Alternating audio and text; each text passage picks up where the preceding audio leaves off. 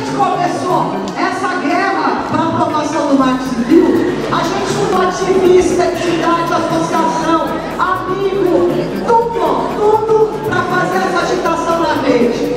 E a gente dizia para os mais jovens que diziam, ó, nós não estamos acostumados a perder. E a gente falava: a gente já tem algumas nas costas, mas essa nós vamos ganhar. E nós ganhamos!